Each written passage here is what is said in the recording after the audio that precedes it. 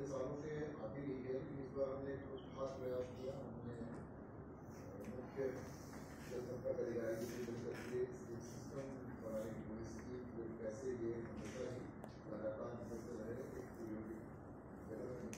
System कर दिया है। और दूसरी ये भी की है कि अब इसको हम हमेशा ई